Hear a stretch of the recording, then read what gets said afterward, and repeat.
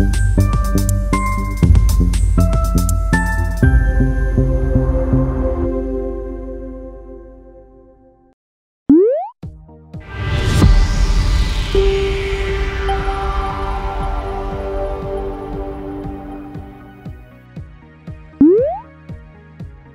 Uniquindiano, bienvenido. A continuación, explicaremos cómo usar acciones de edición asíncronas en un curso en la plataforma Aulas Virtuales. Para continuar, activamos edición.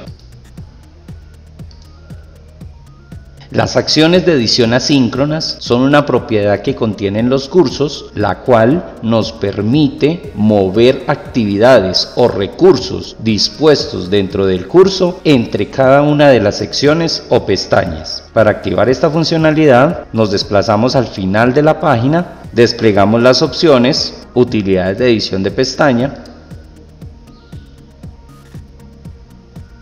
deshabilitamos acciones de edición asíncronas.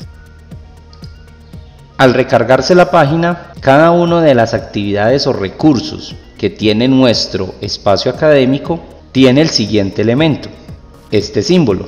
Con este símbolo podemos nosotros mover las actividades o recursos entre cada una de las secciones o pestañas que tenemos en el curso. Por ejemplo, deseo mover el foro, perfil de usuario y presentación que se encuentra en la primera sección del curso, deseo moverla a la pestaña o sección evaluaciones. Para ello, daré clic en el símbolo inmediatamente al lado de la actividad o recurso. El paso seguido es dirigirme a la sección o pestaña donde descargaré la actividad o recurso, en este caso la sección evaluaciones. Paso seguido, el sistema me muestra a través de las siguientes cajas la ubicación donde yo puedo colocar el recurso que deseo mover. En este caso, el foro deseo ubicarlo en la siguiente posición.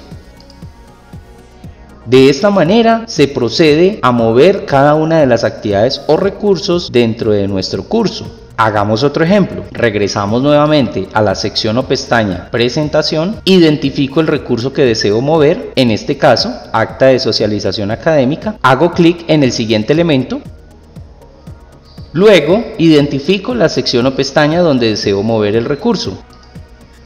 Finalmente, le indico al sistema en cuál de las ubicaciones deseo agregar el recurso trasladado. En este caso, lo haré en esta ubicación. Esta es la manera como podemos utilizar las acciones de edición asíncronas en un curso en la plataforma Aulas Virtuales.